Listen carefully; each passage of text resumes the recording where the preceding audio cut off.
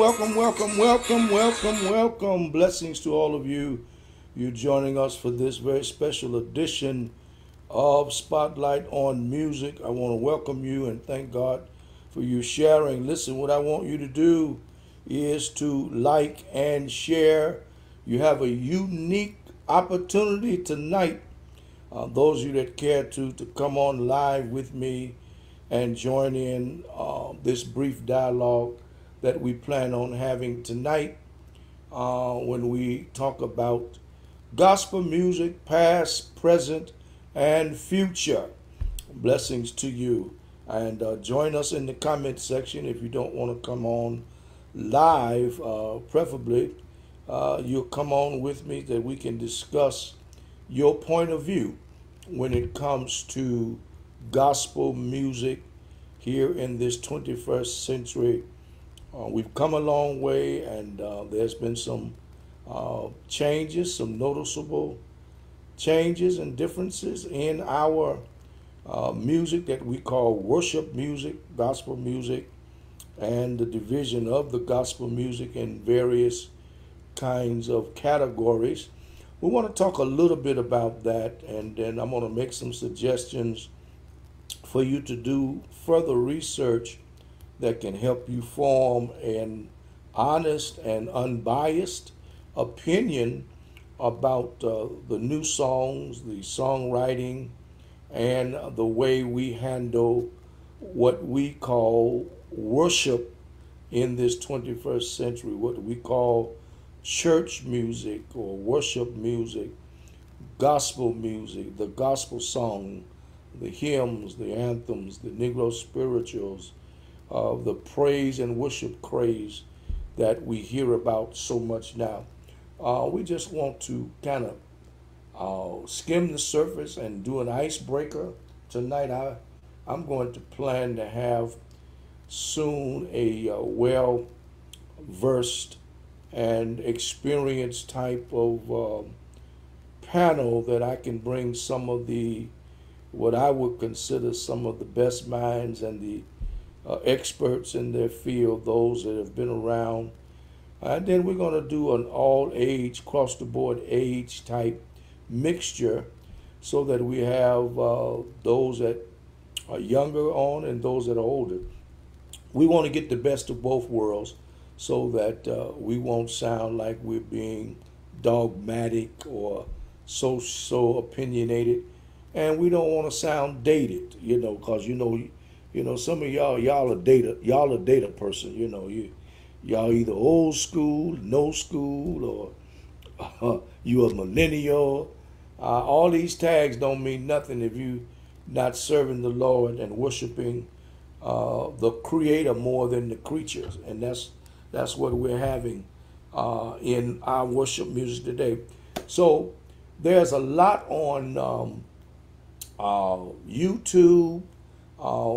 And and just go there and and there's one specific video I was going to play it, but I don't want to run into any um, copyright infringements.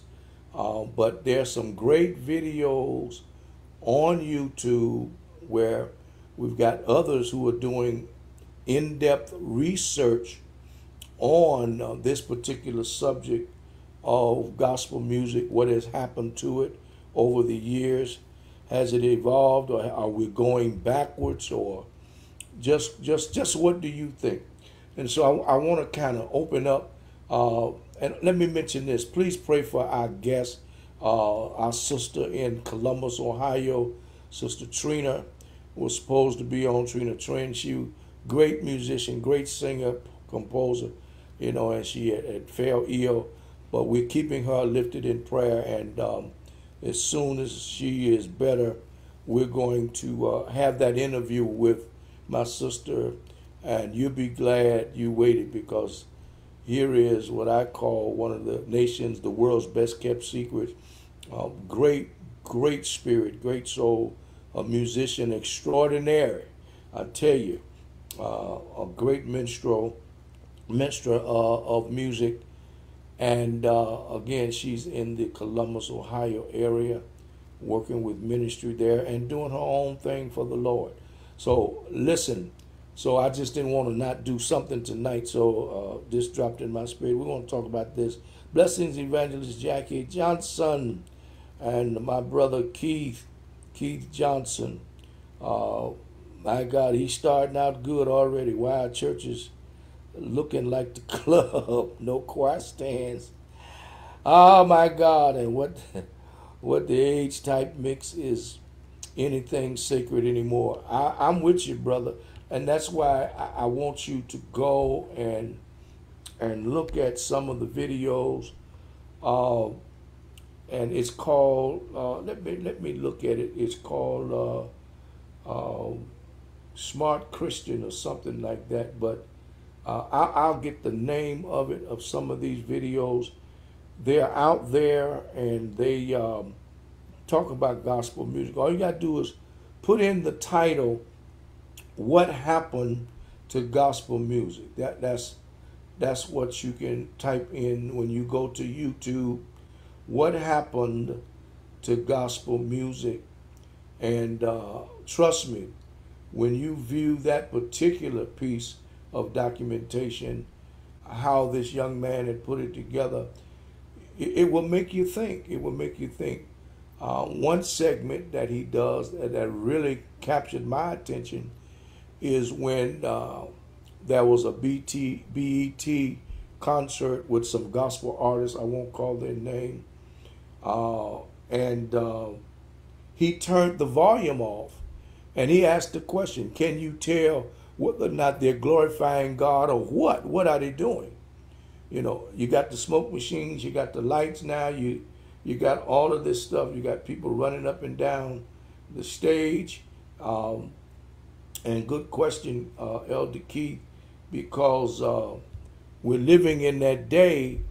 Uh, everybody's putting in spotlights. They're renovating their pulpit areas. And some of them don't know why they're doing it. They just doing what they see other people do. And they buying the LED screens, the giant ones, and making them the background, cutting off the lights at the church, and then you, you know all you need is a bag of popcorn, some hot dogs, and a large uh, 32 ounce Coke, you know, and uh, and and and the old, like at the ballpark or the baseball game, the guy goes around selling bags of peanuts, you know. Yes, keep smoke machines.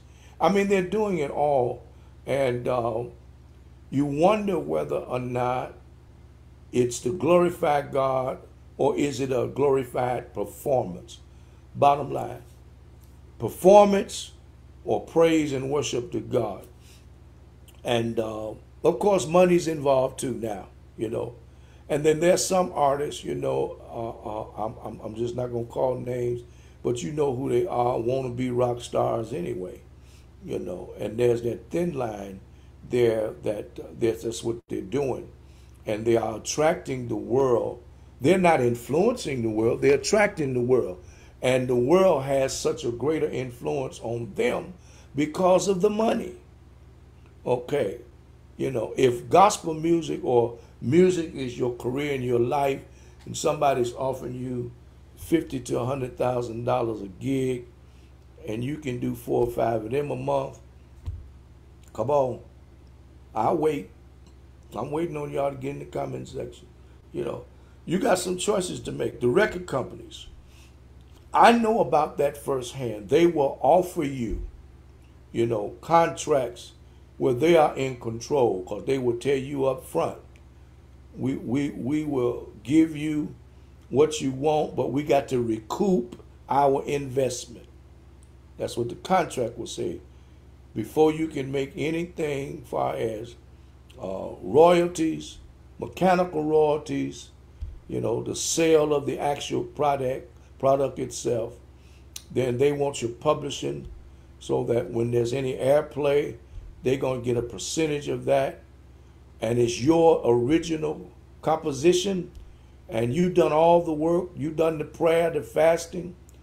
And now you've signed a contract.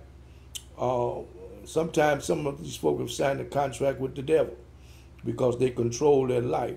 But yeah, they, they're going to make sure you're taken care of after they're taken care of. Because where do you think they're getting this money from? Look at look at the R&B world. Look at the rappers. Where do you think these rappers are getting this money from? They're getting it from people who got money. And where do you think they're getting the money from? Okay. They're not going to give you a hundred thousand dollars, a half a million dollar contract over a course of two or three years, and not know how they're going to recoup that plus make a profit. And their profit margin is a hundred percent. Sometimes as much as two to three hundred percent of what they invested in you. Okay, so and and with the promoters now, most artists are becoming very smart where they are producing their own concerts and they get a couple of investors, pay them off, make their money, and start producing their own concert. That's what some of these artists are doing now. And they're called they're attaching spiritual titles to it on their tours to make you think it's all about God. No, it's not. It's all about you buying a ticket and coming. Listen, I don't have a problem with it, but but my problem on the other hand is go ahead on and call it a concert and do your performance. Don't say you glorifying God because you're not. You're not glorifying God. Not with all of the stuff y'all do. Not with not with these gyrations and these this choreography and and the look that the girls, the ladies have, and the look that some of the guys have and and the the the dancing. I mean, you just outright dancing. Come on. You just outright jigging and juggling and wiggling and wobbling. Doing the wobble wobble, as they say. Listen, y'all, God is not getting any glory out of that. And it's amazing how they start out good and, and they become uh, monsters. They be, they become greedy after filthy lucre. You know, they get a taste of that money. They put them on TV. They get a Grammy, or they, they, they get a Stella, or they get a Dove, or they get some kind of award and recognition. And uh, there they go. It's it's owning. The kids say it's owning popping. So where are we past gospel music I know gospel music has evolved. Uh, it's taken its place as an art form. But I'm going to say it again and I'm going to stand on it. Uh, the late Professor Chris Ware said, I'm standing on this truth. You know, we in Detroit, we have used to have that uh, well-known department store called J.L. Hudson's. He said, I'm standing on a stack of Bibles as tall as Hudson's. I just believe God. You know, the gospel music is not dated. I can't hear y'all. I said gospel music is not dated at all. There is no expiration date on the gospel, the preach word, nor the worship, nor the song, nor the music. So let's let's get that in our minds. What is happening is that there are those who have been hoodwinked or manipulated by uh, the record label industry until they congratulate themselves on being in the top first 100, the top 50, the top 25, and then the top 10 or top 40, you know. You see, gospel didn't know nothing about top 40. They got that from R&B, you know, when it comes to the charts. Top 40 in any urban city among radio stations. And um, then some radio stations started with gospel like they did with R&B, their top 10 of the week on their playlist, you know, and depending on the A&R department of a record company, how much they invested uh, to promote that particular artist, they may take one or two songs from a project and highlight it across the country or in a certain region just like the Midwest market, you know. You, you, you got Michigan, you got Ohio, uh, you got Illinois, and and then then you got Indiana. Okay, those, those, those are some strong states.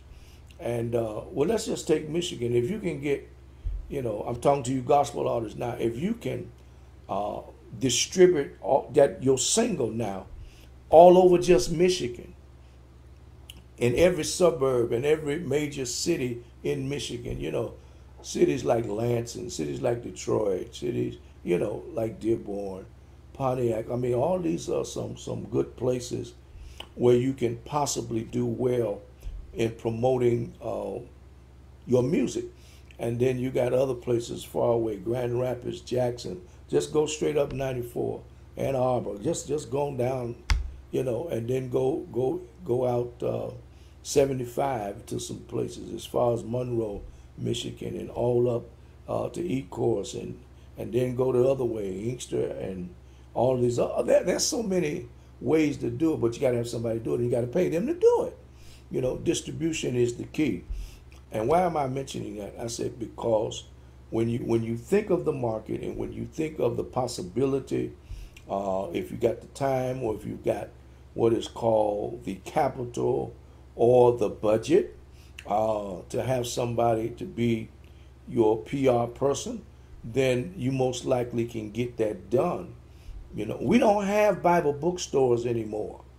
Okay, mom and pop radio stations or mom and pop radio shops, record shops. You know, we don't have Simpsons records anymore here. Coachman, huh? Alma and Carl's. Some of these key places, you know, I, I, I think that I mentioned Simpkins record, and then there was Chantonique records. Uh, I'm dating myself now, y'all. You know, uh, uh, churches used to sell uh, their church projects from their church bookstores or whatever church take. I mean, we don't have that anymore. You used to go be able to go to Grand Bible and and pick up gospel music and and uh, blessings to a bishop or pastor, Pastor Baker over there at Baker's old Grand River Bible and bookstore Y'all remember Globe Bible? Yeah, you used to you'll be able to go and find some music in there on Jefferson and and then they had some other places and then uh, Dixon's Bible and bookstore and all of those different places that we were able to buy our Bibles, our robes, and all of our study material, and along with that, uh, gospel music, and and then some of the bigger places. Now, when these places came along. You know, we when I started out, we didn't have Best Buy, you know, and, and all of these other outlets that they got now. Now you can buy uh, uh, your records or CDs in Target and Best Buy and and Meijer and, and a whole lot of places now, you know. And uh, but you got to have the capital of the budget. You know, you go to Walmart and, and, and find some music you can go. I mean, so what am I saying? You know, we used to have all these places that were available to us, and and they promoted it. I'm trying to think of the name of the guy uh, that was on Mack Avenue, and uh, Saint Saint Alban. Uh, uh, Brother Keith probably can help me with that name, you know. But I come along in a day when all of that was around, and I hang out during the youth, community youth ensemble days was over there on Holbrook, right there at Alma and Carl's, the record shop, the music school, and on the corner where the community youth ensemble used to rehearse. Now, we were taught hymns, we were taught gospels, we were taught uh, Negro spirituals and anthems. You know, of course, our forte was gospel music. And, uh, and through that particular group, a lot of writers uh, came to be known uh, musicians, choir directors. Uh, a lot of them, if I call their names, you will remember them or know know them, like the Reverend Donald Vails, Dr. Dorgan Needham, Cass Hudson, and Columbus Man, uh, Reverend Ralph Long, James Long, you know, Gregory Brown. I mean, so many uh, of the Journey brothers, Joseph Journey, Lamont Journey, Sandra Fever, you know, God rest her soul. All some of these great, great, great singers. And there was a time, because he didn't really do too much with the choir, there was a time when even Marvin Gaye would come around and hang around down at Carl, Alma and Carl's. Uh, Uh, uh, Alma Lois Hendricks Parham was great friends with Dr. Mattie Moss Clark. Uh, she did most of Dr. Clark's publishing in the early days. Same way with Beverly Glenn and, and those people down there. And, and and when you go back and and hear that that uh, majestic, nostalgic gospel music, can I tell y'all something? Those songs that Beverly Glenn wrote then, the the songs that uh, Alma Hendrix wrote and re- uh, rearranged arrangements of hymns, Dorgan Needham and, and, and Ernest Needham, James Long, Ralph Long, Donald Wells, all of those people, those songs that they wrote back then can be sung today. And some of you young people, if you heard them, you you would almost declare that that can't be a 50 or 40 year old song. Yes, it is. You know, don't throw away don't throw away your your your heritage. Don't throw away your legacy. These songs, I mean, if you listen to the songs, you learn how to write a good message song, a Bible based, a biblically based song, something that will get you from Monday to Tuesday, you know.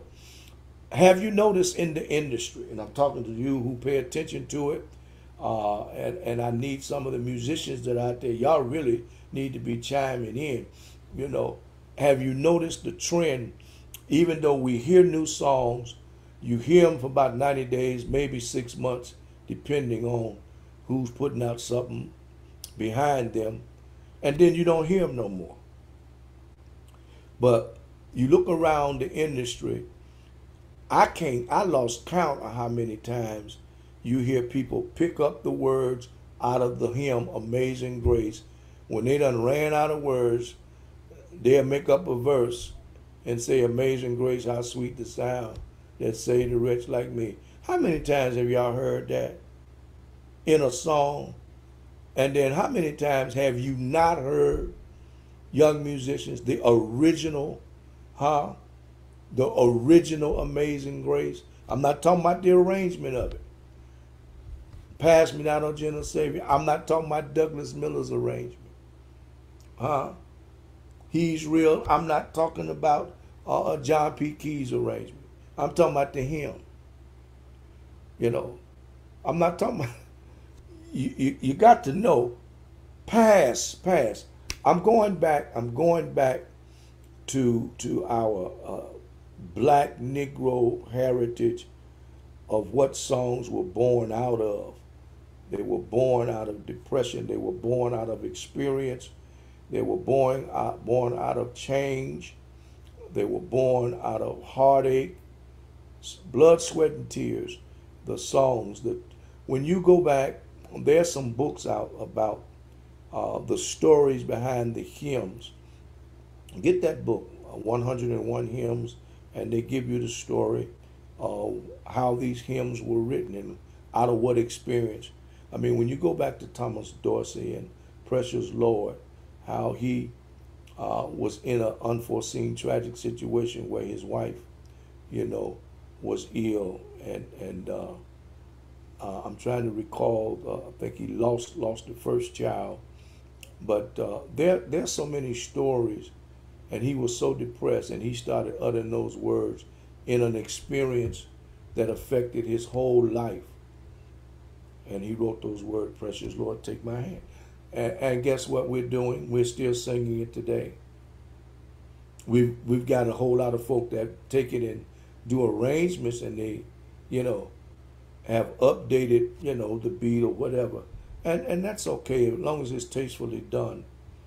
But I certainly encourage the original to know the origin of music and where they come, the songs come from. Uh, that is so important uh, for the educational process of those who do church music today. And I'm saying this because one of our well-known churches right here in the city, I got a call today musicians, I'm talking to you now. I got a call today. The pastor is uh, a musical pastor, and he knows what church music ought to be like. He's seeking a musician. But I, you know, I just told you know person that called me, you know, I I I can't recommend none of these guys because they don't want to study, they don't want to up their game, but they want to go in and ask for five and six hundred dollars coming in the door. For what? What do you bring into the table? You know, most of these you musicians, and I'm being Bishop Woods, I'm being Andre Woods, I'm being your mentor now. Most of you are lazy. Most of you don't study. And because you got a couple of gigs, you know, in other places, you know, on weekends, or you traveled or toured with some people, what happened during the pandemic? All that got shut down, didn't it? I've been trying to tell y'all now. Let me tell you this. You know, I'm I'm I'm going to have as one of my guests uh, next week. My guest is going to be uh, the president of the Detroit Federation of Musicians, Mr. George Troyer. And uh, you'll be able to hear the benefits of being a member. See, because I tried to tell some of you all that when we did a membership campaign a few years ago, you know, and I had him to come to the Mount Zion Baptist Church, George Troyer, also Dr. Noah Duncan from Wayne State University, who's over the music department. He came to talk about the importance of music education, how far you can go with just getting basics and learning music, the job opportunity, unlimited. You know, Y'all say the sky's the limit. It can't be the limit when when you're you're not prepared to go to soar. How can the sky not be the limit for you if all you know how to play is in two keys? And then you get on the piano and transpose them. The, the no. You got opportunity to learn how to sight read, do notation. Listen, no excuses no more. Stop all that. You know, stop it. And then you want to go into a church. You only there maybe two, three. Some of y'all maybe at that church maybe four hours a week. And if they paid you a hundred dollars an hour, you know, and then you want tax-free money, then you want them to pay you over that amount so you can take home a certain amount. Come on you know, I, I'm of the opinion, it's just, just me. Y'all ain't got to, it coming from me. I've been here, been there, I've been around. I'm of the opinion if a, if, if a, a lady or a, woman, guy wants uh, to present themselves on that level, they got to first of all have one or two things the education and experience, or the experience and education. They got to have personality, they got to have people skills, and then they got to know their craft. Okay? And far as I'm concerned in church, you need to be anointed.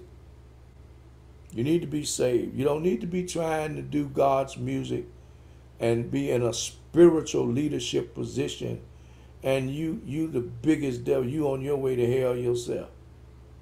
That just, just don't work. Oil and water don't mix. It don't work. And that's why some of you can't stay nowhere. You're unstable, you're double-minded. You can't make up your mind. And then you don't want to get nowhere and build. One of the pastors lamented to me, said, Bishop, I'm willing to, to bring somebody in, and if they're willing to work with me and we grow together. Well, how do you think all, a whole lot of us started? I started playing with play all day and all night. My grandfather told me, I'm not paying you to, to practice on us. No. Matter of fact, a whole lot of us, when you look around the landscape today, you know, you talk about Andre Woods, Rudolph Stanfield, Greg Pearson, Gregory Troy, all these. Thomas Whitfield. You talk about, you start calling names. A lot of these folks wasn't getting paid that kind, that Come on, y'all. And they were stable. They built. They proved themselves, and God blessed them. And still is, you know. And and I'm saying this because nothing's really changed when it comes to how God can bless you. It's up to you. Preparation precedes the blessing. That's where your education come in. You're fasting, you're praying, you're practicing, preparing to teach. Y'all don't want to teach the choir. Y'all don't want to. You just want to come in and play. Somebody else do the work. Just send me the music. I learn it. I'll show up. But you want five and six hundred dollars. And then you don't even want to dress the part no more. Y'all want to wear y'all baseball caps at church, your t-shirts, your Timberlands, your toe-out jeans. You know, why are we paying you? I tell them all the time, ain't no need you looking my way or working on nothing I'm working on with no, uh, especially publicly, you know, and I'm gonna pay you. No, there, there, there is some protocols you got to adhere to, or I can't use you. And I can say that because I can play myself. Now, yeah, I, yeah, I, I can. And guess what? I can play what you play. But can you play what I play? And I'm not being arrogant. I'm not being cocky. This is just tough love tonight. That's all it is. And and and it's sad that we've got so many hurting churches and all of these floods of musicians who can't make up their mind, you know, what they want to do with their life. You know, and then when all this other stuff, when they lay you off from the club and the the plays are not doing well, then then y'all inboxing me, talking about can I find you a church? No, I can't find you a church, cause what you gonna do? Soon as they offer you five dollars more, then you ready to take a leave of absence. You just got there. You want to take a leave of absence for for three months because you want a tour. I mean, I had no problem with that. Go on and live and get your experience. But you ain't got no job. You ain't got nothing stable to come home to. Okay, just like I'm telling you, this pandemic hit. And so I, I purposely invited uh, George Troia, the president, and we're going to talk about the benefits, all of the things that some of you suffered during the pandemic was needless. All you had to do was be a member. They had they had all kind of grants and funding and monies available to help people paid they paid musicians rent, they paid their insurance, and I mean they bought groceries. They had all of the benefits. Y'all throw away more than a hundred dollars a night sometime just trying to impress somebody. Get your membership. Prepare yourself. And they offer insurance. I ain't gonna get, let the cat out of the bag. But we'll talk about that uh, when we when we get together. So y'all need to plan now to to have your ear prepared to get some information. You perish from a lack of knowledge, okay? Yeah, Keith, that dancing, it's not the holy dance. It's it's no praise, just body work. Yeah, that, that that's what's happening. Uh, people got a way of justifying and sometimes they will they will use scripture to try to make it fit what they wanted to say or to defend their actions you know. Um, see when solomon built the temple god gave him the blueprint you know. We're, we're building houses of worship or let me say this we're defacing houses of worship based on what we call being culturally relevant. Oh my God. I'm I'm I'm gonna do a, a, sermon on that, and I know ain't nobody gonna too much like about this stuff trying to be relevant. You mean to tell me the Word of God in all 66 books you can't find something relevant? He said, And I and I be lifted up, I'll draw all men unto me. Changing your pulpit and tearing out and turning down the lights and turning on spotlights and smoke machines ain't gonna get nobody saved. That's just going and admit it. That's that's you.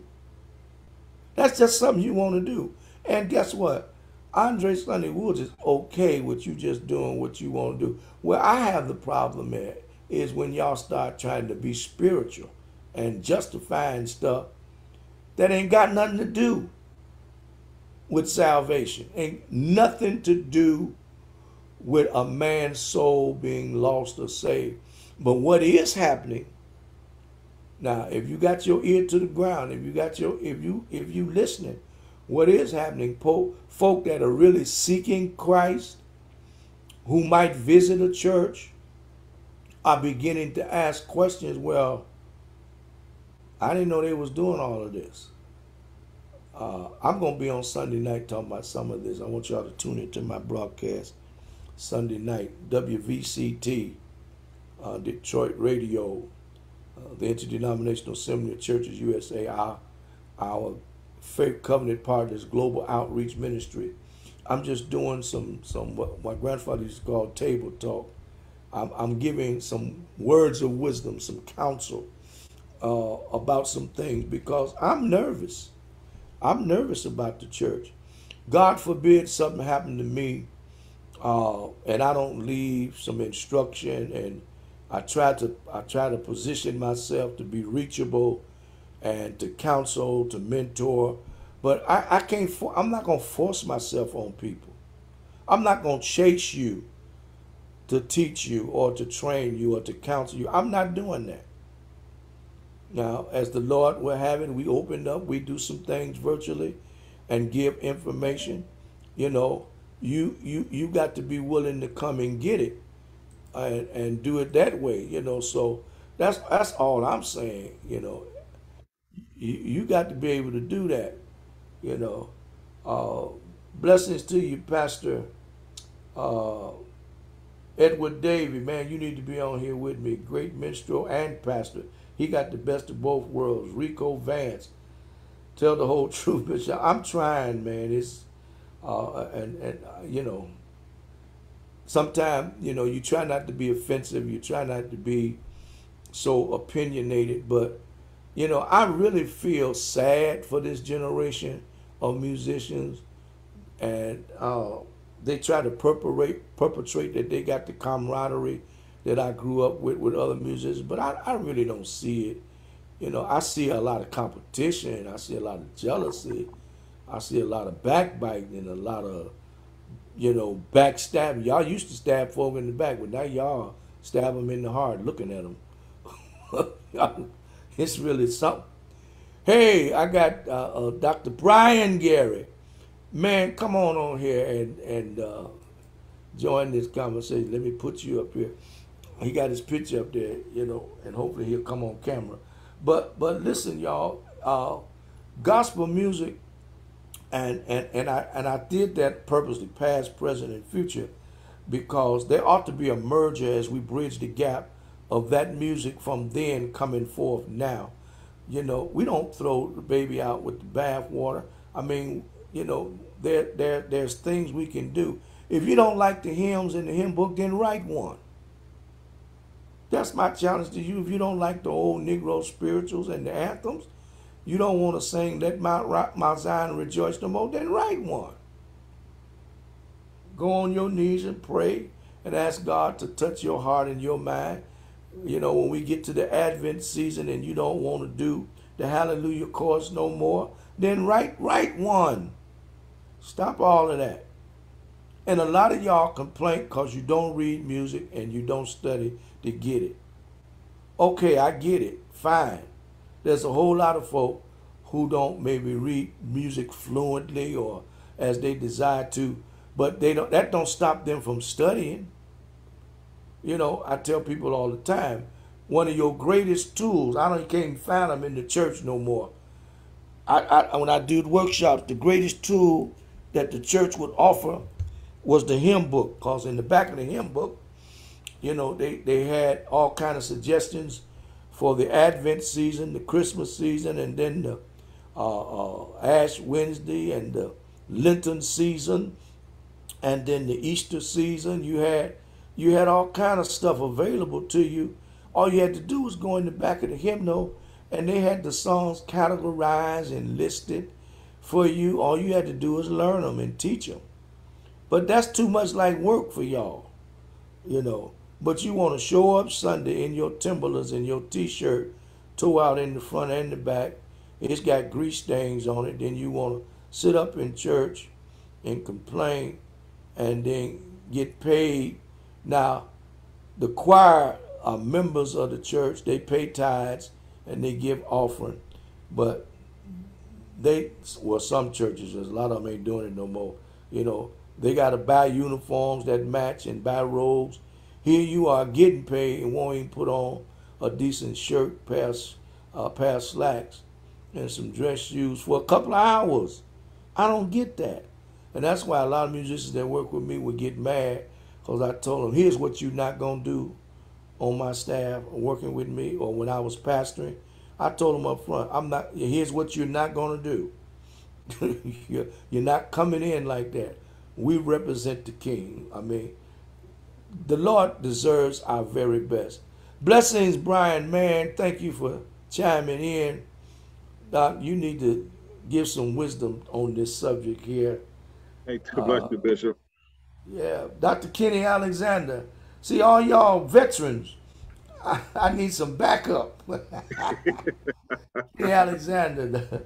Oh man, they they in the comment section. Thank you again, Keith Johnson, and uh, Pastor Edward L. Davy. You know, y'all know what I'm talking about, man. It's it's a new day. I understand that. And here's what they do, Brian. They say, you know what, God is doing a new thing. Is it? Yeah, okay. Y'all, y'all, y'all tell me where the God, what God done changed. So it's an oxymoron, or y'all, y'all just doing what y'all want to do. On one hand, he say, "I'm the Lord thy God; I change not." He ain't changed his protocol to worship. They that worship him must worship him in spirit and truth. Ain't no new law to that. Y'all stop making up stuff and taking stuff out of context because you want to get away with doing what you want to do, you know, at your church where you, where the pastors trusted you and put mm-hmm. you over his people or her people, and you over there acting a fool. What's up with that? What's up with them, Brian? I really wish I knew but it's a different generation. Um, just like you said, that they're doing whatever they want to do. When in some cases, that the ministers and the pastors are letting them do whatever they want to do. You know, there's no responsibility. There's no accountability. Um, I remember when I first started playing, you had to respect the church, and the church is not being respected. But oh, no. one thing that has changed is we've changed. God hasn't changed not at all. So that's one of the things that's really missing in the church. Yeah, it's it's something else, man. It really is. I I um I get so discouraged. I I, I be kidding. I said I said I'm gonna start the Nicodemus ministry because some of the pastors, well-known pastors in the city, they call man. I need I need somebody, but I just can't get anybody. I said, well, trust me, my name is on the line too. I ain't gonna. I'm, I don't want you calling me talking about you done sent me this rascal. I, and some of these guys, you know, they'll say, "Can you find me? I'm looking for early service. I'm looking for this." Well, you know, come on. The reason why you all can't get nothing to work for you because you know you you plan for a different church every Sunday sometimes two and three churches in one Sunday. And so you you you not know where to to to drop your anchor where you can start building and and growing you know and and and and uh, grow with the church spiritually as well you know respectfully so you know yes there are a lot of pastors who are not musically inclined but they're still the pastor and they got an idea. They do want, you know, a music department if they trust in you. My thing is is is uh, you know, take care of business and and and all you got is your name. Trust me, man. Some of these guys, I mentioned them to certain pastors, and they say, uh-uh. So it's stuff they done done I don't even know nothing about. I'm like, oh my God, what happened? You, you know, let me scratch that name off the list. I can't recommend them because this report sounds kind of serious. You know, um, but I'm, I'm I'm hoping that you know this generation of musicians will study their craft and and prepare themselves. You know, eh, those that want to be songwriters, those that want to be directors, those that that want to be artists or whatever they want to be. You know, you got you got to put some time into that. Mm-hmm. Just don't go to bed and wake up wonderful. you know, it, it's not gonna happen. You know, and and you got to earn respect in the music industry so you can walk among other musicians, you know, who know you, respect you, and uh, uh, don't mind collaborating with you, working with you and that type of thing. That's how I grew up, man. We, you know, everybody knew everybody. Everybody, if they needed a musician, they invite me to be their guest. If I need, I'd invite them to be my guest, and we we we would hang out on that level and support each other's everything. You know, I see a little bit of it among some of them, but I really get messed up when I hear on the same day he having something and they having something an hour apart. You know, y'all know. You know, when I was growing up, everybody knew the Monday before Thanksgiving was Ogie and Thanks. Mm-hmm. Everybody knew. Everybody knew. Uh, when was it? Was it October? I think it was. With Unity, everybody knew Unity. When they were going to Ford Auditorium, everybody knew what was happening. Everybody knew in January how they celebrated at, at Pratt Tabernacle, their Founders Day, and, and July, and so many other things that they were doing. Everybody knew these these special times. Everybody knew when uh, Miss Lemon and the Lemon Gospel Singers Choir anniversary was. John Everhart. Everybody knew those dates. They had those annual dates down. And and you look up and everybody was supporting everybody all of the time. Dr. Mattie Moss Clark, whenever she had something at State Temple, you know, everybody knew. So it wasn't where you going, that's where you was going. you know, wasn't no question about it. But but nowadays, man, you know, uh, I don't know. I, I, don't, I don't understand, you know, what their what their whole agenda and mentality is when it comes to uh, supporting each other. I don't know if it's a competitive spirit or or what this thing is, man. It's it's just strange to me. I can't get with it. You know, I just I don't understand. So when I speak of gospel music of the past, I'm talking about that music that some of us grew up on. If you're over 40, then you understand what I'm talking about. And even uh, those that study that's under 40, and you're in a, a church that may still sing a morning hymn, or some churches still do devotion with the deacons. You know, they might be far and few, but there are some that do that. There are still some who insist on a congregational hymn. You know, churches like Hartford, they, they still do anthems, and and there's some a whole lot of other churches. They they're gonna do a hymn. So you can't get employment over there not knowing no hymns. At least sight reading or something. You know, uh, Tabernacle with Nathan Johnson in. I never forget when they were uh, trying to hire an organist. You know, these young cats, you know, you're not going to make it. Because Pastor Johnson is a musician himself. And if he need to, he'll get over there and play himself. You know, that's what I'm talking about, man. And and and and even before Pastor Branch, E.L. Branch, uh, a lot of people because he didn't play a lot in his later years, a musician, he knew the music and he had a structured music department his whole tenure as pastor, you know. And and when you look at the landscape of the churches today, New Bethel, those churches that, that we grew up listening to on the radio and a whole lot of churches. You know, everybody's trying to perfect their music program uh, to at least have something uh, that that their parishioners can be proud of and that will honor God. But man, some of these folk, I don't know. I don't know, man.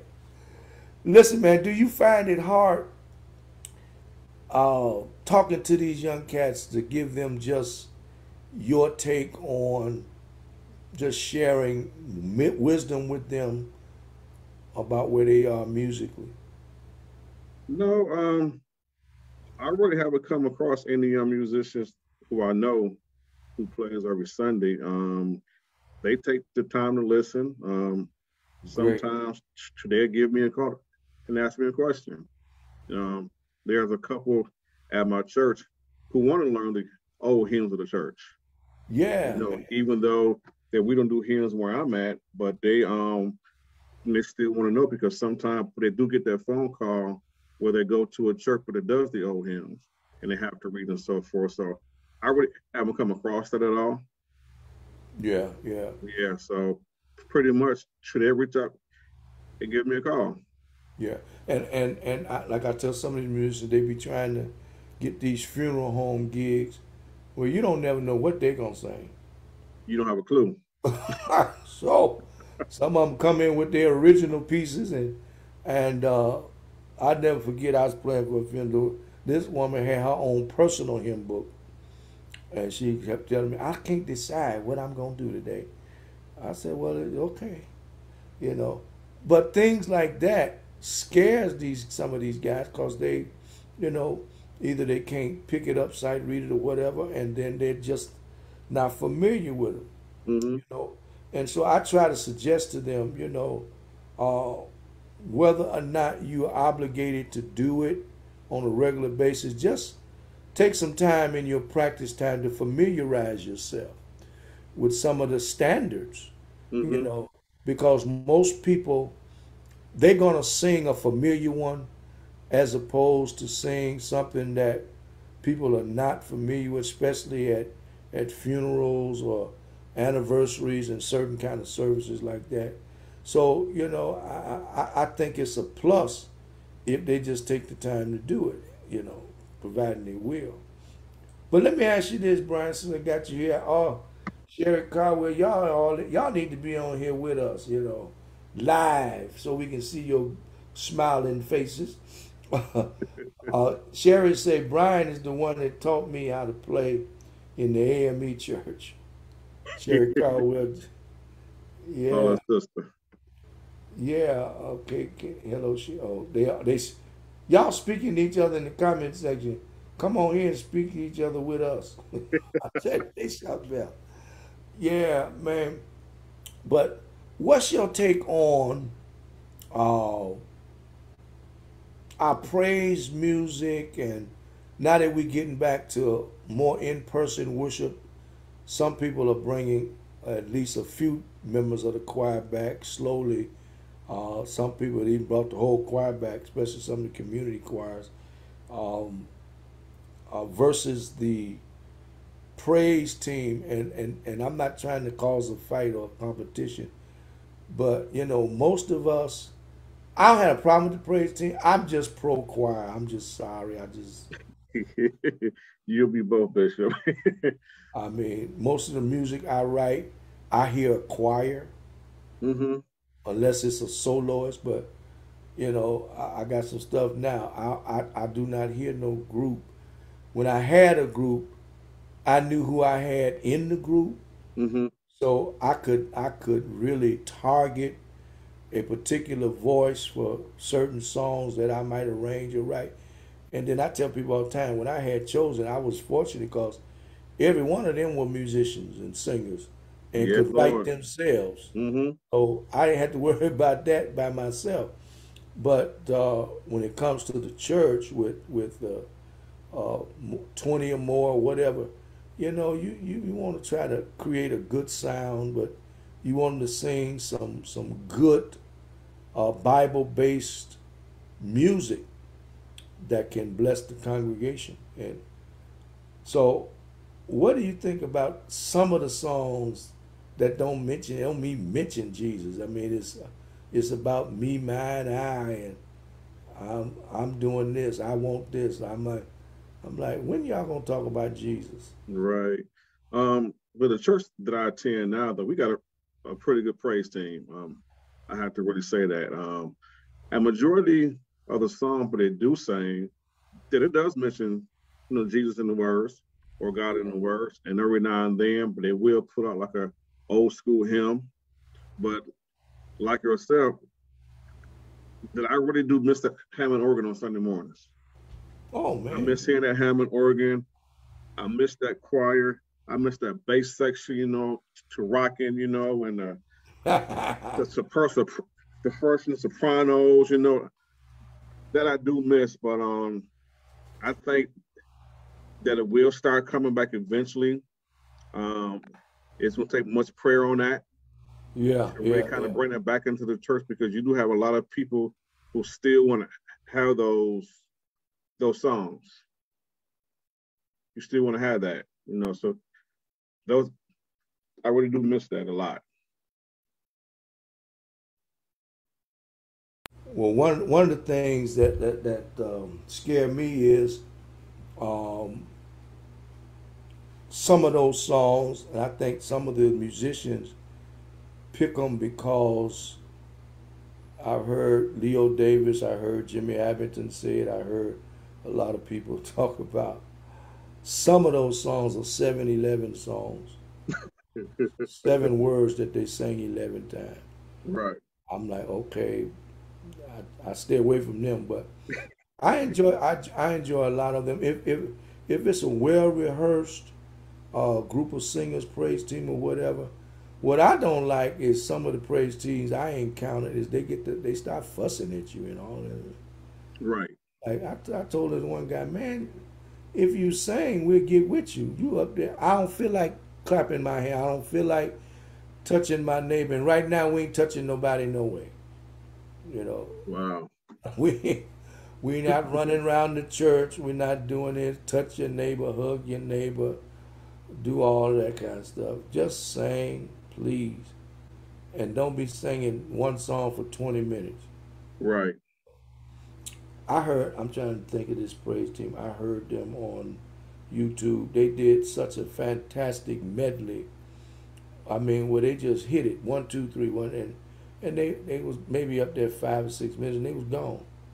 Mm. But they engaged me, even on on the screen on the on the live. Mm-hmm. You know, uh, they caught my attention.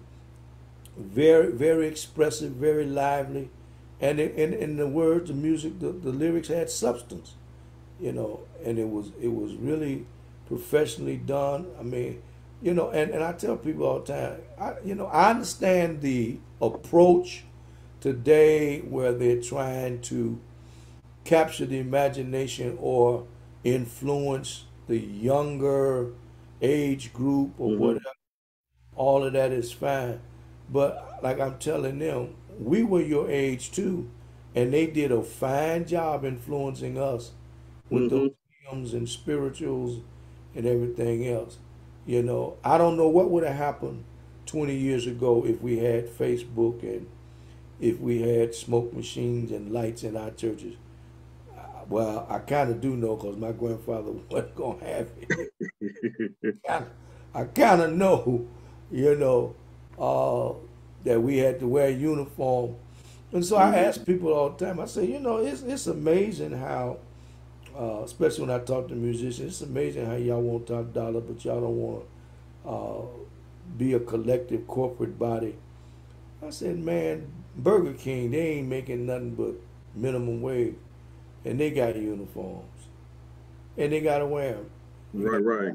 Go with them mm-hmm. Wendy's, and all, all these other places, and most fine dine, uh, finding dining establishments, if they don't have a, a set uniform, they either have a black apron, black shirt, black slacks, same way with the ladies, or they got something matching, t-shirts or whatever. You know, it ain't just come in looking any kind of way. Right. Proper dress, proper protocols, and present yourself. and then then then we want God to give us uh, His best, but we're not offering Him our best. best in some on some levels. But you said something key that I, I think we need to uh, hit real quick. The pastors allowed some of this stuff. I got a pastor now. He allowed what you talking about, and now he trying to find a way to get rid of it. Mm. I said, just go on and do it, man. You you hire them and you pay them, and they don't want to change now. And and and not only are you frustrated, but your people don't start complaining about you know the music and the attitude and the uh, the attire and all.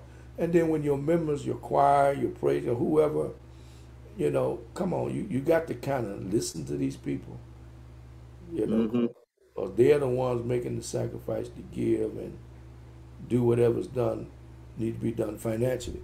So that that's that's a gray area. That's a gray area. Very And, much so. and speaking of Sherry Caldwell with herself, you know, we were talking the other day about an experience. And what's up with these churches that want to hire musicians, but they got non-musical people on their music committees trying to Oh my God. Trying to interview. How you gonna interview somebody you don't know where C is on the keyboard? right. You know, you don't sing, play, or beat the drums or the spoon. But then you wanna interview somebody. So what you gonna ask them? You don't know nothing about music. You don't Right. even know what you're listening to. You, had no clue. like, but they're in the they're in the position to make decisions on on the hiring of somebody who know what they're doing. It, it amazes me how some folk are doing that. I, I, I don't get it. I, I really don't. I don't get the. Listen, if y'all got a question, you know, hurry up and ask us because we're gonna be gone in a little while. I just wanted to break the ice and talk about this a little bit and um, uh, kind of raise the question where our music is now and where is it going. And I think if we keep following the dictates of the music industry, it's real unpredictable because the way I see it, what they have done in the last 20, 25 years, just gospel music, when you look in Billboard, it's too many categories hmm urban gospel, inspirational gospel, rock gospel. I'm like, what? What are y'all doing? Traditional gospel, contemporary gospel, hmm all of that stuff. I mean, they they, they have really gone uh, uh, to the extreme to try to squeeze blood out of a term. They're getting everything they can out of gospel music. Uh, they really wanted to cross over uh, if they can make it do it, but then they'll lose some of the market. But some of the artists, they might as well, hey, cause the way these tours and concerts are coming off now, man, you don't know. Uh, again, go to YouTube and look at, uh, put in the search what happened to gospel music, where there there is a very informative piece and give example of what's going on in gospel today and why it looks the way it is.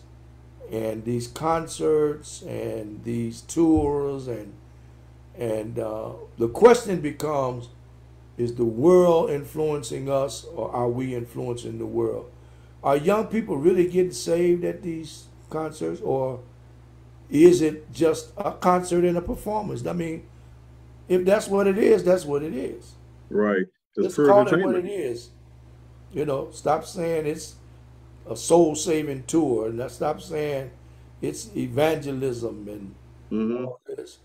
And then, man, uh, for our counterparts, our white brothers and sisters, I ran a, I wish I had wrote down the name, but it's it's on YouTube. Now these people, dude, they doing whole songs in tongues. I'm like, okay. So y'all can just get up without the unction of the Holy Spirit and just Mm. go to singing in an unknown tongue. Cause do y'all know what y'all saying? Cause don't nobody else know what y'all saying. Right. I saw that video. You saw that? I'm like, what in the I saw that. is going on here?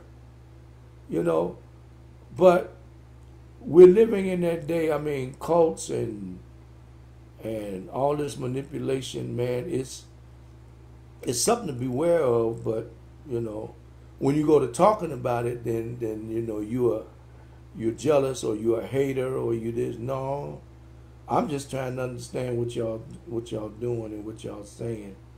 You know, because I, I this is new to me. That's all I got. It's new to all of us right now. I, I don't understand it, and I'm just trying to get understanding on what y'all what y'all got going here. You know, um, let's talk about Detroit before we go. What's your take on?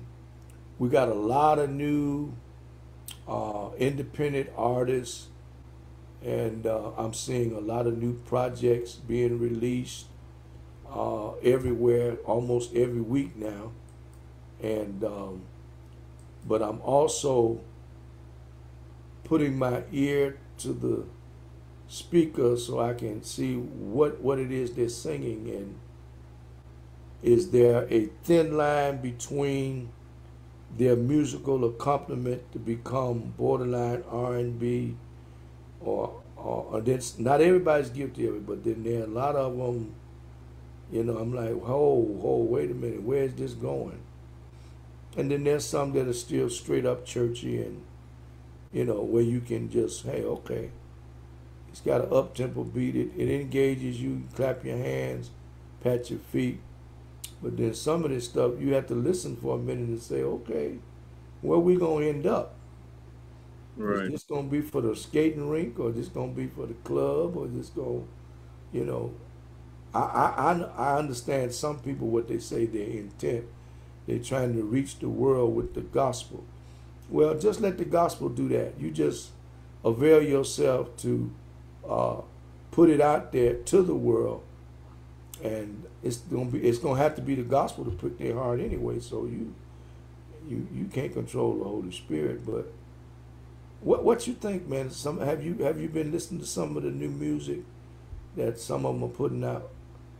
But I haven't been listening too much to the new music, but I do understand exactly what you're saying because one of the things that I like to do, like you said, is you know the words. What are you saying, and who are you trying to minister to in the world? You know, and, and like you say, you have to still keep that foundation though. That's the key point. Is the foundation. It's the thing, but it's pretty much missing, like in some of this new music now. There is no foundation. Pretty much that the world is inside the church right now Yeah, and whatever goes goes. You got certain songs. You go to a skating rink, like you say, you can skate off of gospel songs, but they call it gospel. Well, you they know, they put it on in a minute now. They Mhm. I had no problem. They put it on. Yeah, I mean, they there's no problem with it. So, like you said, there is a thin line between that R&B side and the gospel side. You know, what side are you trying to fall on? Yeah, You know, Yeah. so it's amazing. It's amazing the uh, how this music has stirred the nest and turned the corner. I mean, we're in commercials. I mean, in movies. I mean, they're singing it worldwide. I mean, but here's what get me. I got I got Ron Rucker coming on from Japan at the end of the month. mhm. And he tells me all the time when we emailing and talking, why are you all over in the States throwing away this music? Y'all throwing it away and we picking it up. They love gospel music over there. In its true form. I mean, no frills, no and and and when they come over here, they singing our stuff. They singing "Oh Happy Day" still.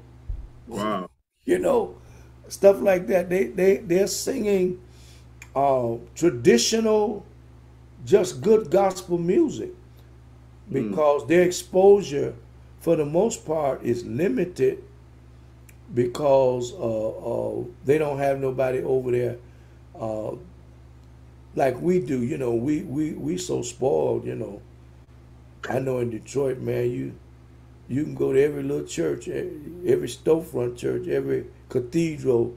You're gonna find somebody that can play and sing. A lot of times, mm-hmm. you ain't got to look hard. You know, uh, I was talking to some friends in in uh, in Mississippi, and uh, they were saying, "Man, we don't have church organists down here like y'all do." I know even in my mother's hometown, Beaumont, Texas, every time I go down there, they I go to them big old churches, man. The Hammond organs be locked. I said, "Y'all don't." Wow. They ain't got nobody to play them, man. They got the little Sunday school uh, teacher. She she played for the Sunday school and the, and the senior choir, and uh, of course down there that's one of them places where when the kids grow up, they either move to Houston or go to New Orleans. They go to the big city. Mm-hmm. So, you know, organists are far and few. You know, good organists down there. Uh, just good musicians, period, for the most part. But I'm like, y'all got all these. I mean, they sitting there with cobwebs on them. Wow. And so we we we got organists. I mean, on top of organists and musicians and singers. So when when I'm talking to Ron, he's telling me all of those experiences, and when they when they hear a song, and uh, he tries, especially now we got YouTube and and and people are on every day uh, he's saying they eat it up, man. Mm. So he tell he's trying to encourage me. He said, keep writing in that vein because that's what they love. They they love and they want to sing it. They try to emulate us, uh, play like us. And here's the deal. He told me some of those guys are so musical until they're learned, educated musicians. They will hear the music and uh, they know composition, they will score it out while they're listening. They can be sitting there listening to a YouTube channel and writing out the music so that they can duplicate the sound and mm. they write out the parts and they and and next thing you know, two or three weeks they got it. Wow. Singing like they wrote it. I'm telling you, man. And and and here we are talking about we tired of singing this and tired of singing that. I used to ask Reverend Nix uh, why he would make choices sometime like he did in some of the services, because I never forget there were some Sundays, you know, and JD was very astute about that, and we, when we had different choirs singing on certain Sundays. But every now and then, Reverend Reverend would say, I know we sung this last week, but I just somebody here need to hear this again. Mm-hmm. You know that type of thing, and we'd be like, okay. And man, sure enough, we start the intro and the choir starts singing. You get the shouting. Listen, it's like somebody threw a firebomb in there. Yes, sir. It it would just ignite, and I'm like, how did he know that? you know, but those kind of experiences, you know, taught me so much uh, to look for in a worship experience.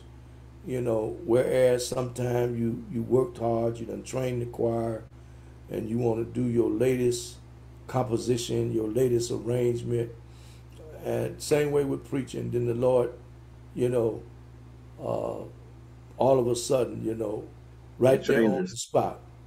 Changes. Yeah, it's that's Yeah. out the window. Put away your notes, and and uh, I love a preacher that don't fight against the choir. When the choir is singing good and the Holy Spirit come in, they know how to get up and tag that song. And uh, I've seen it happen so many days by those, uh, you know, I would see Reverend Cleveland do it at the convention all of the time. You know, he was good at it. He didn't care who was up singing. If that song looked like it was getting ready to light that place up, he hit that stage and keep singing it. Mm. We ain't gonna let this pass. You know, Right. we we gonna we gonna catch it right here and now, and ride this tide. Right. Ride it all the way out.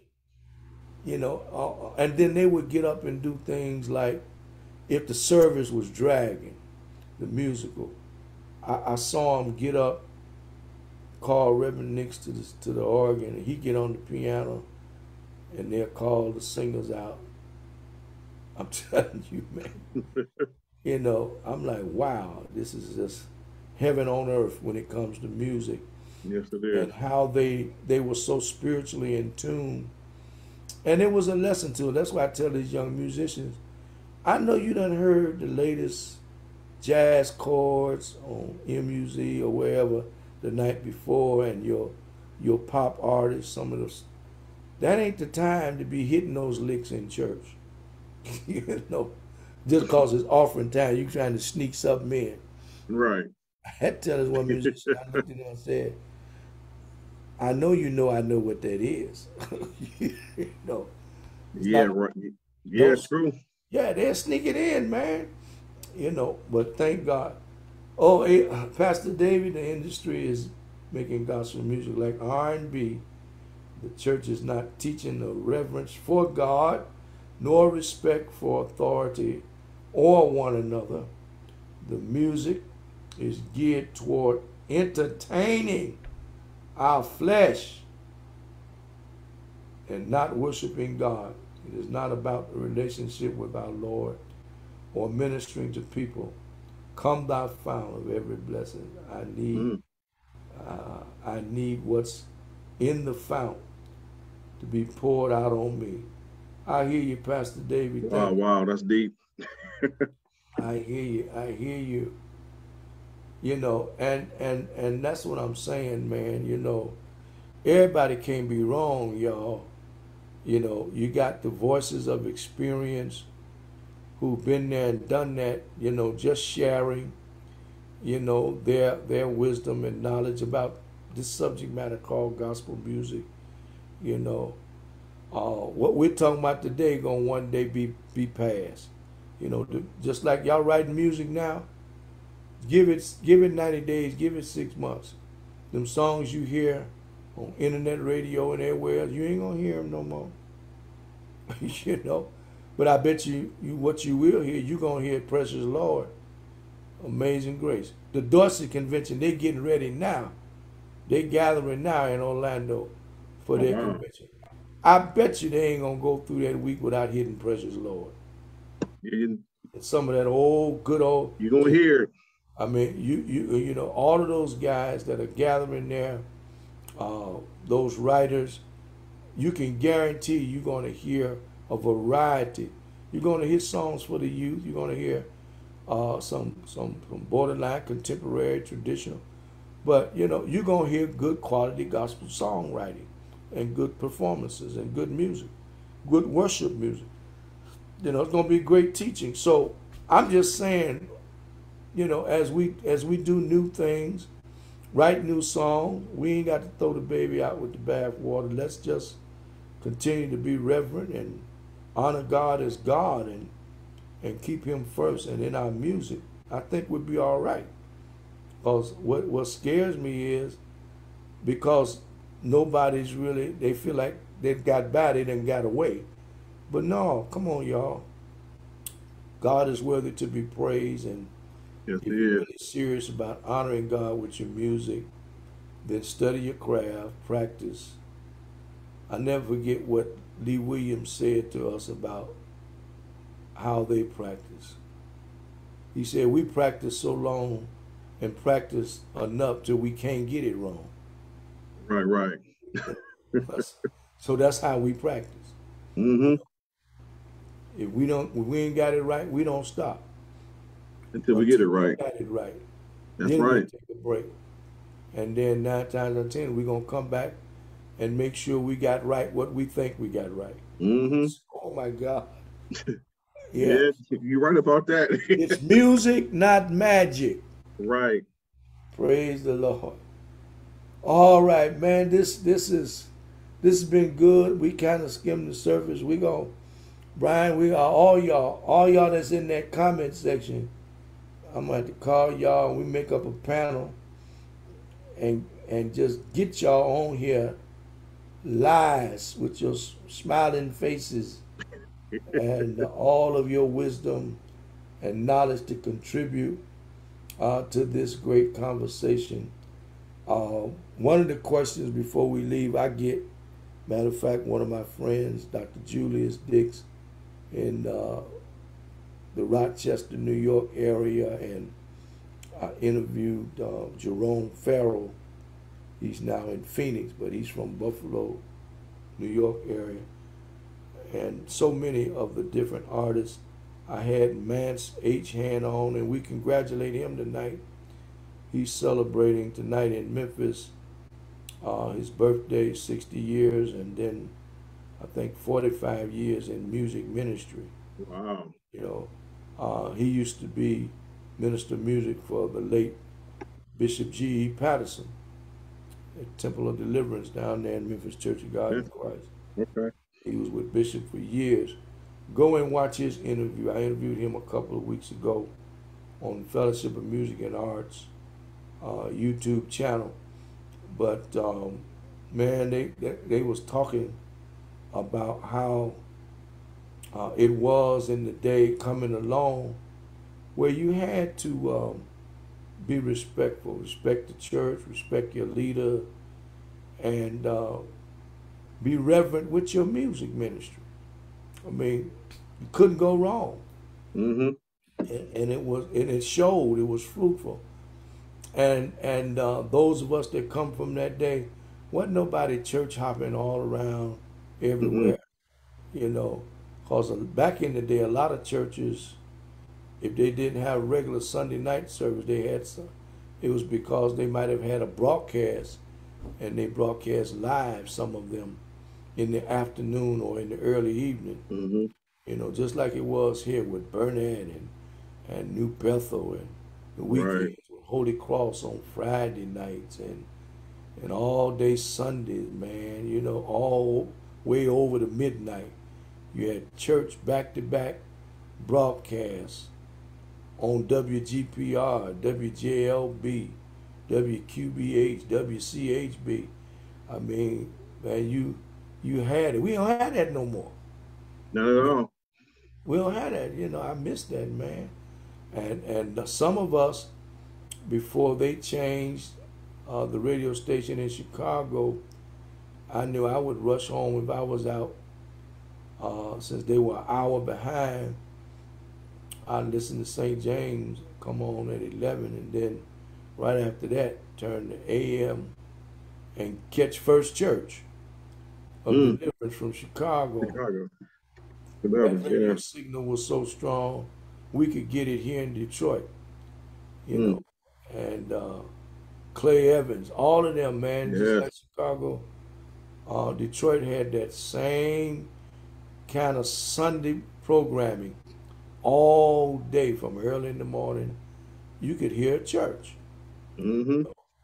And uh, those days are gone now, and, and we've got live streaming and all of that. But to God be the glory, and to those of us, listen, I thank all you that jumped in the comment section. Hey, Lena, uh, thank you so much. And uh, listen, we got to do more dialogue because everybody's asking. So now, listen, when I call y'all, because I'm going to be calling y'all.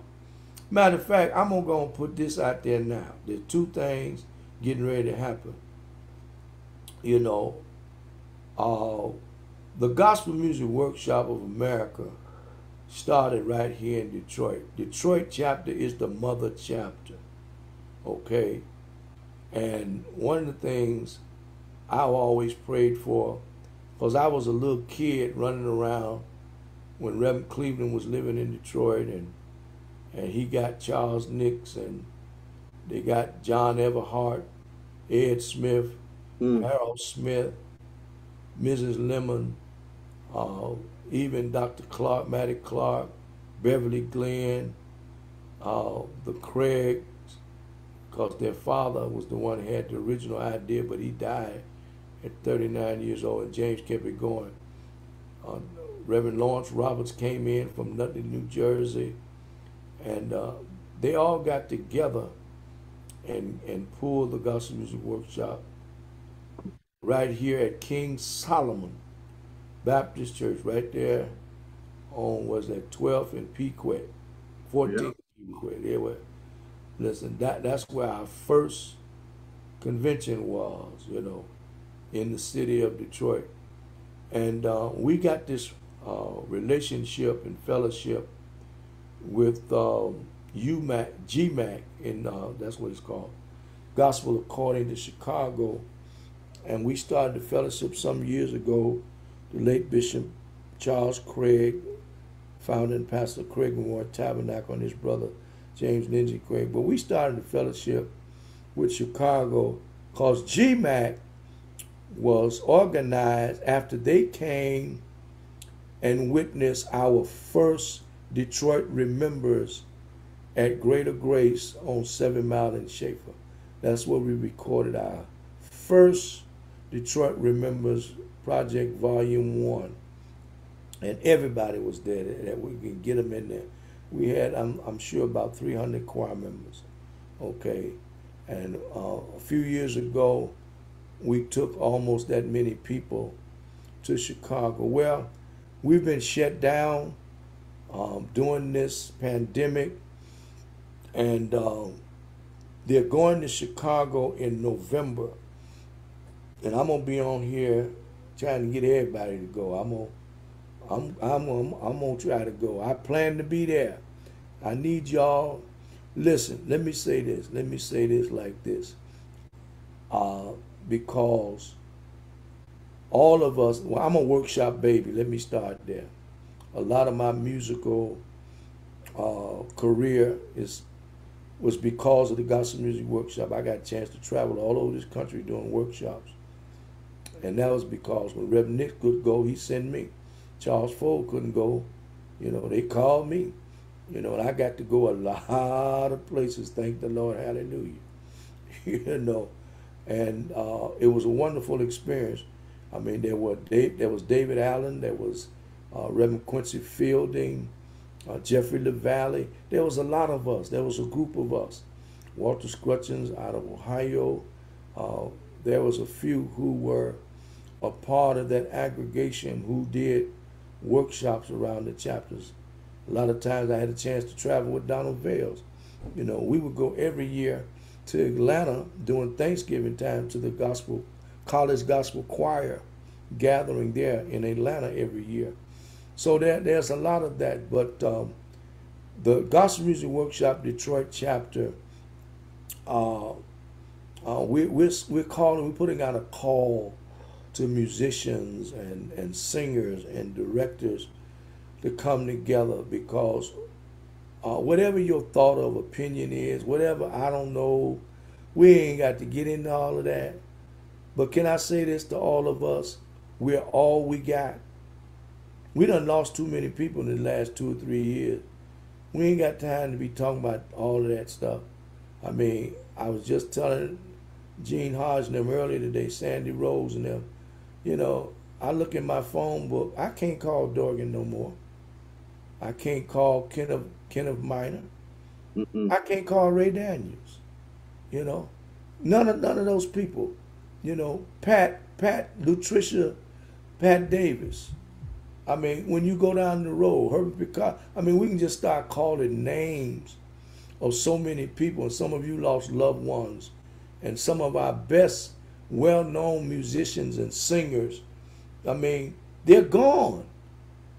So, so you know, bless you, Doctor Doctor Quint Weaver, and we got to support him next month.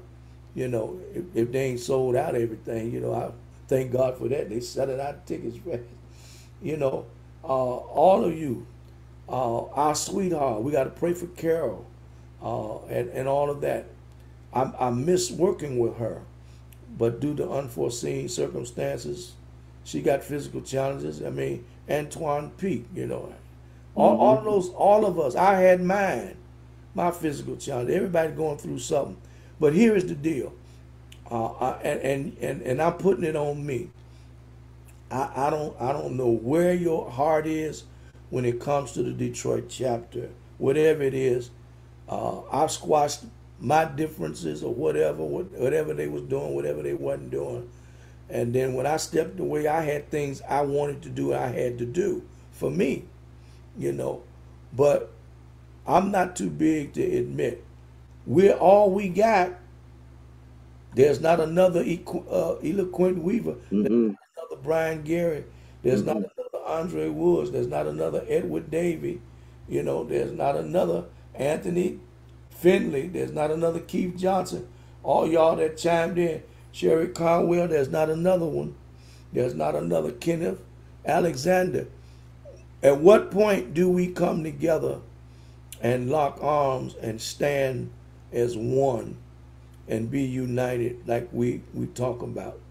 So that project is one. And then there's another one that we're going to announce soon as we get it, you know, uh, for 2023.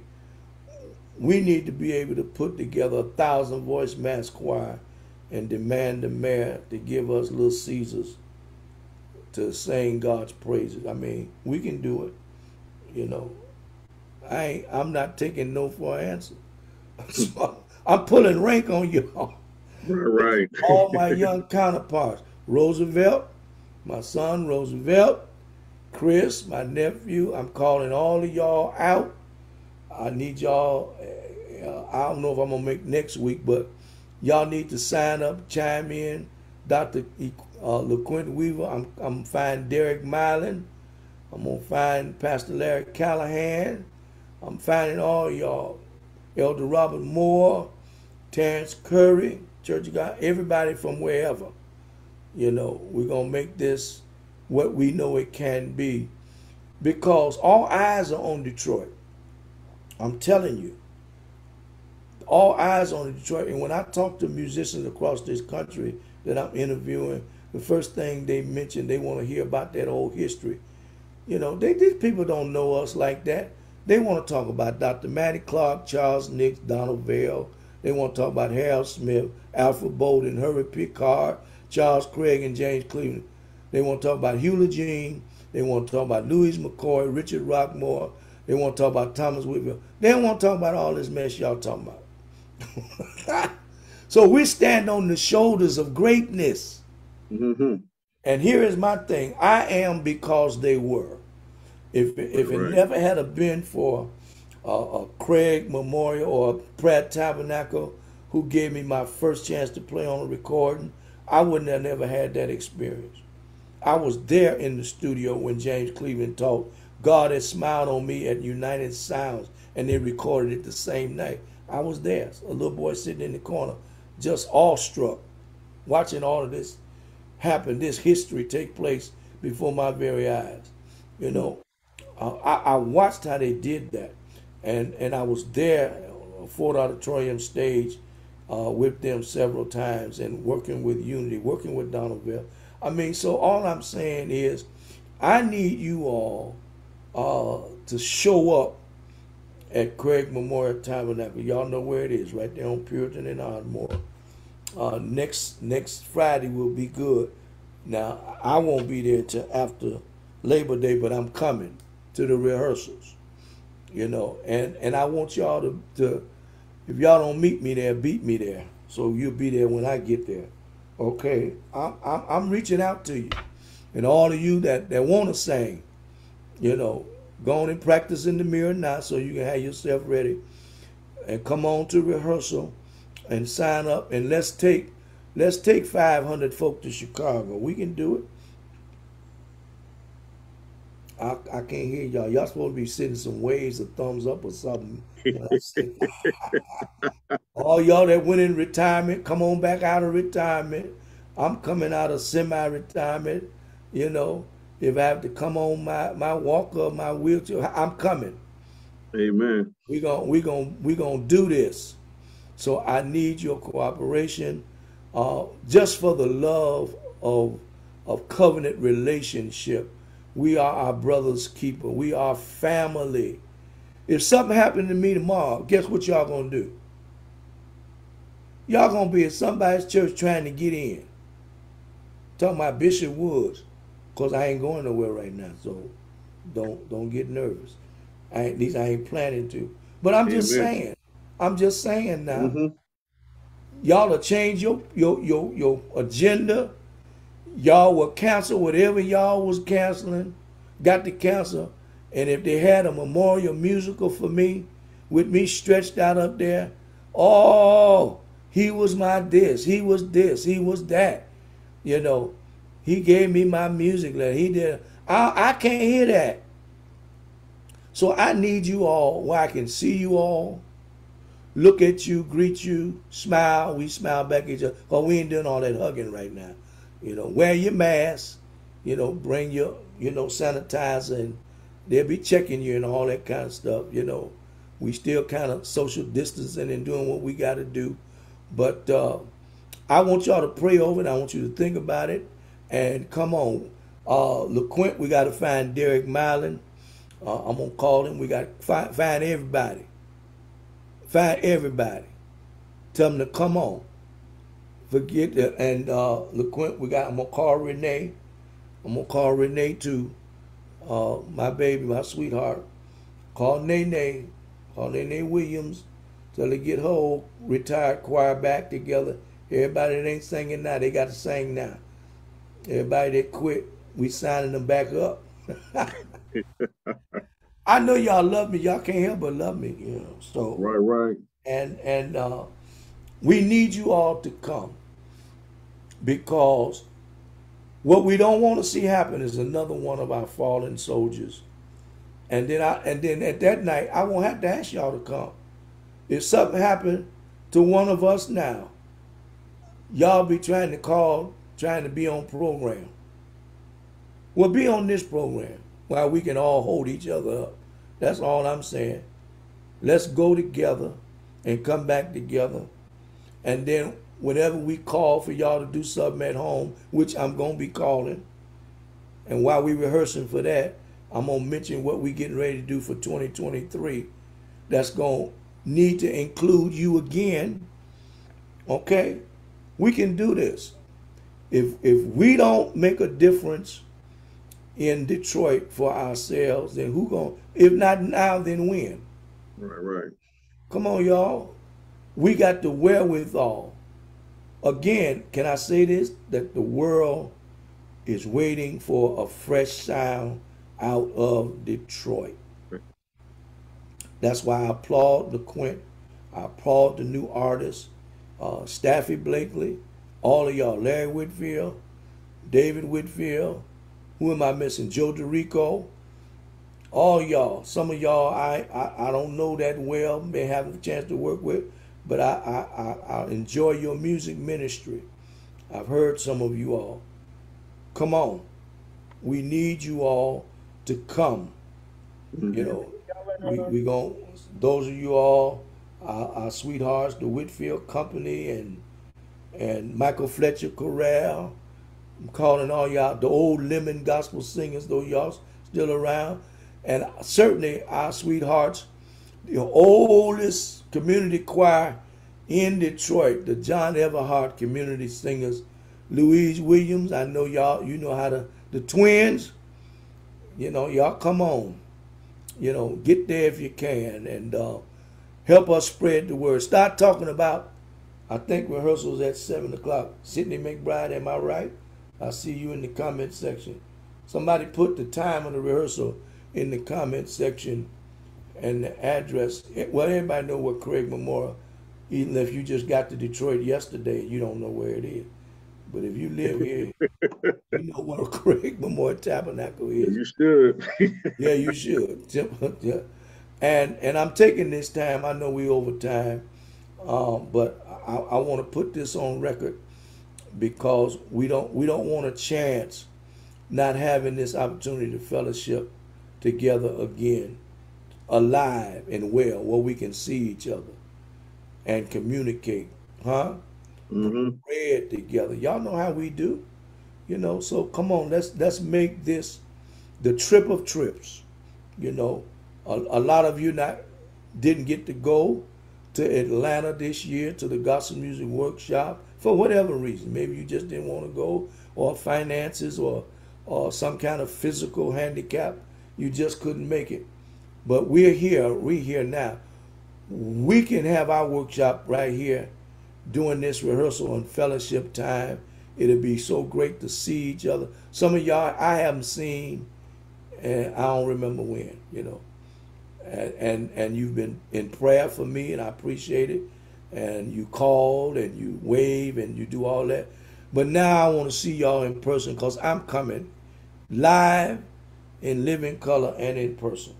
So I'm going to be there, so you be there. Okay, thank you, Sydney. That's the right time, 7 o'clock. Is it 7 o'clock? Well, be there at 7 o'clock so you won't be late.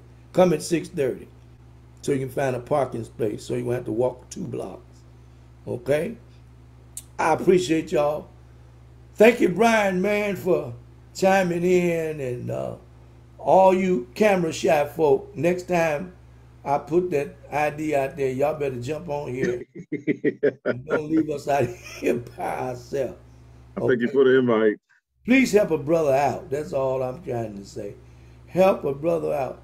Uh, oh, thank you, Anthony. We do that. We start. Oh, the Washtenaw County has a chapter. Well, y'all bring them on.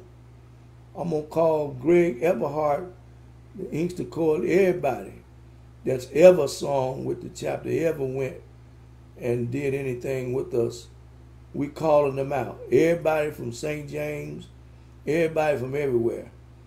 Uh, all those church choirs that used to be a part of the Detroit chapter. Everybody, come on. We need your lovely melodious voice.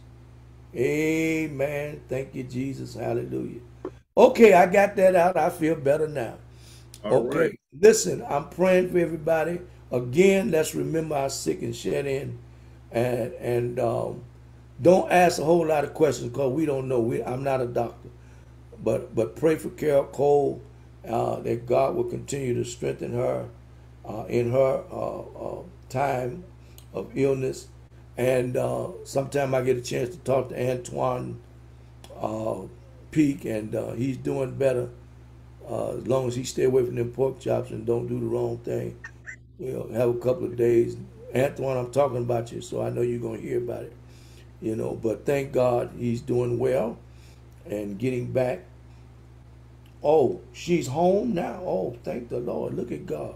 So we're praying that that for continued progressive healing and deliverance. All right. Okay. Oh my God, it's almost 11 o'clock. I've been running my mouth tonight. But uh, I hope y'all hear my heart. And um, let's make this happen again. Start call. It's not too late. Start calling folk tonight. Say, Bishop was on there. Child, he told us we need to be there. And so that's why I'm calling you. Text everybody. Text a couple of people tonight and tell them to text a couple of people. And by everybody text a couple of people, everybody have gotten the text. You know, do a group text. Don't put me in the group though. Do a them group text mails, man. Because when one person answers, you get the text all over again. So you know, go on and tell them don't reply. Just just keep forwarding the text, and you'll get everybody. Go into their inbox. Put something on your page this week you know, uh, and, and, we'll tell Evangelist Rose and, and our minister of music, Dr. Michael Fletcher, to uh, put up the uh, the logo for the chapter, or go to the chapter's page and get all the information. It's going to be on on our page, Fellowship Music and Arts, on my personal pages.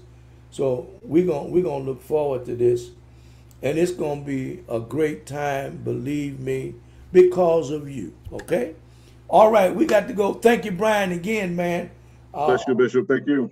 So we can get on here and uh, have some fellowship. All right, love you all. I command the blessings of the Lord to overtake you. That is my prayer to next time. In Jesus' name. Blessings. Blessings.